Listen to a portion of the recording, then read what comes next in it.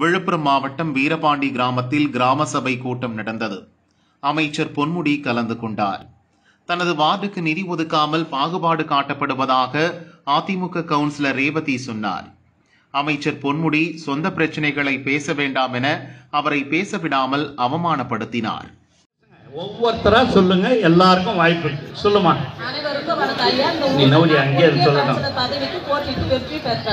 ஆனா எனக்கும் இந்த ஊராட்சி நிர்வாகத்திற்கும் சம்பந்தம் உண்டா? உண்டு இல்லையா? அது நீ வை. இதெல்லாம் அப்புறம் என்ன நீங்க போது ஊர் பிரச்சனை சொல்லுன்னா இப்ப வணக்கம் ஊராட்சி தலைவர்? ஜெயபார் இருமா நீ ஒன்றிய கவுன்சிலரா நீ?